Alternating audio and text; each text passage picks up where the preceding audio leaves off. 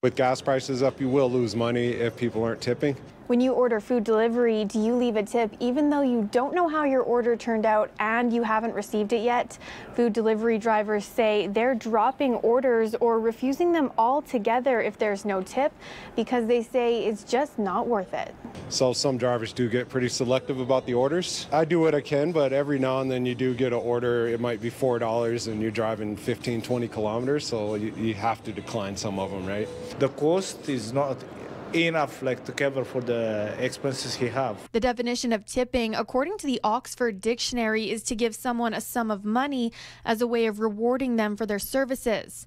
This Reddit comment on a previous story we did about the food delivery tipping system said it's a broken one. But these women say it's fair. I usually like to tip because what they get is really low. Maybe they deserve it. 40 to 60% of a driver's income comes from tips. So when an order is placed for a downtown location, for example, and they're several kilometers away, the driver could lose money. Restaurant owners say food is going to waste if it's not picked up. And then he went on to say that, you know, he's releasing orders and I, he's like, well, nobody's tipping.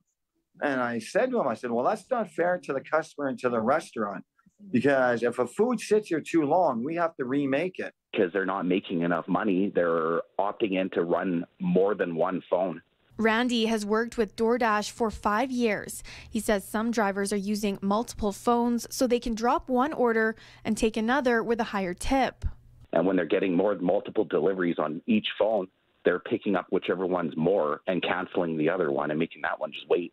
According to DoorDash, Uber Eats, and Skip the Dishes, delivery fees vary from different locations, and the driver gets 100% of the tip. The drivers we spoke with said the fee doesn't vary enough, and they hope customers can be more aware of the location they're ordering from when they're tipping.